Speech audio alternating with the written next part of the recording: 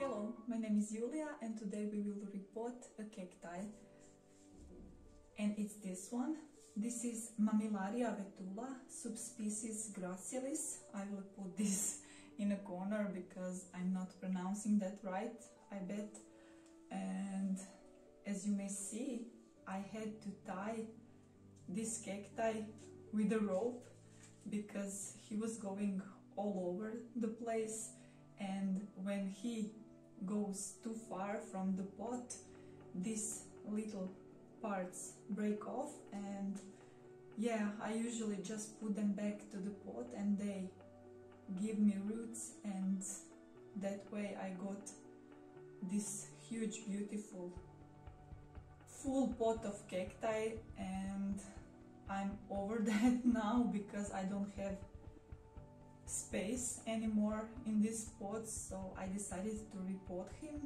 And as you may see he's blooming for some time now. I posted this one on Instagram and he has this beautiful tiny yellowish yellow white flowers. And I'm so excited about this. It's really easy to easy to grow cacti. And it's really not easy to repot cacti because it's so fragile. If you just touch him in a wrong way, he will break off.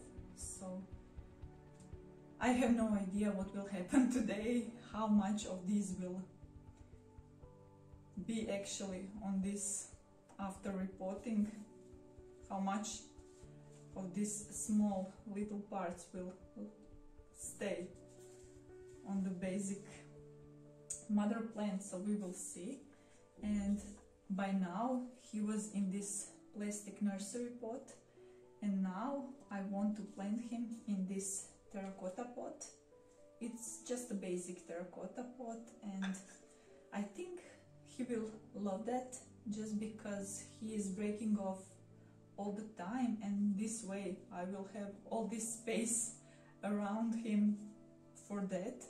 When he break off he will just shoot some roots and it's done. I don't have to mess with him. And I will plant him in just basic potting mix mixed with perlite and a little bit of river sand. So let's do that. I really like cacti. I have, I think, over 20 varieties and I really enjoy those kind of plants but it's hard to have them here where I live because we have harsh winters and I have to keep them indoors for overwintering. And that it's not su such a great thing because they elongate and they don't look that great when you do that. So yeah but I don't have choice and I don't have grow lights so over the winter from October to May almost they just barely survive.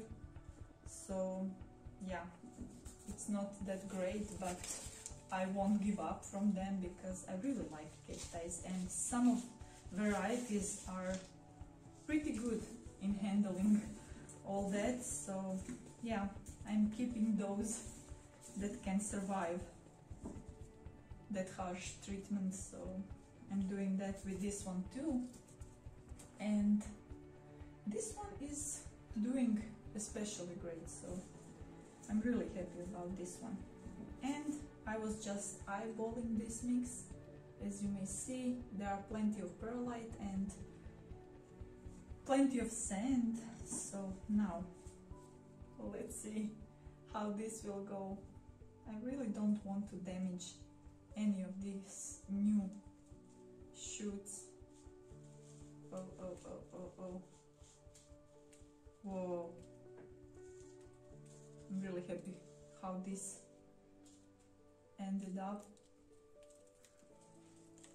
Wow. I will just be gentle. As you may see, he holds all of this soil because the roots are really really fine but there are a bunch of them I need to move some of this soil and I won't mess with the roots too much. I will just wiggle a little bit of this and that's it.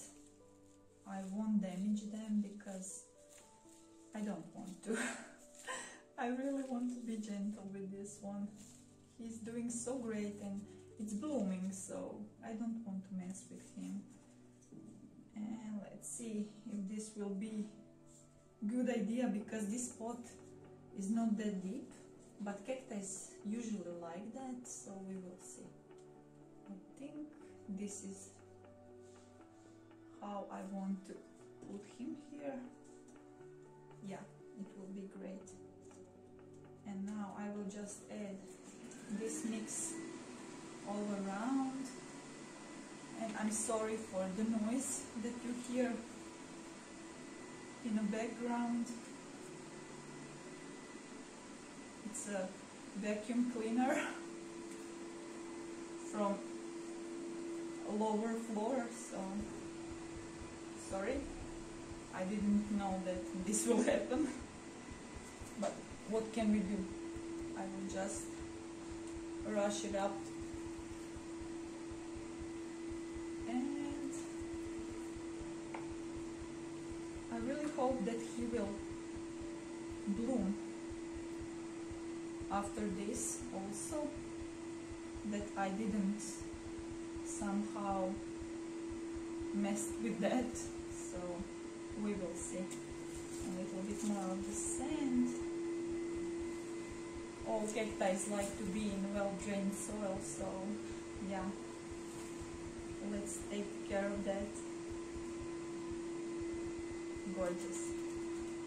I really like this pot I got this one from my sister-in-law. So yeah I'm really happy about this. These are usually expensive here where I live, so I never buy them. Uh, every one of them that I have, I got as a gift, so yeah. And here it is. I think this will be great. Oh, one of them just fall off, as I said that usually happens with this one so I will just put him back here in a pot and he will grow. That always happens. And I will actually leave this this tie that I put on him because he will just go like so.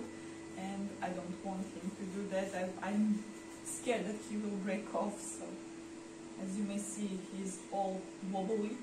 And yeah I will leave this tie and I think it's cute. It, look, it looks great for me. So he's going back on my west facing window and we will see how this will go. Now I will water him. And yeah that's it. Thank you so much for being here with me. I hope you enjoyed this small cute cacti and see you next time. Goodbye.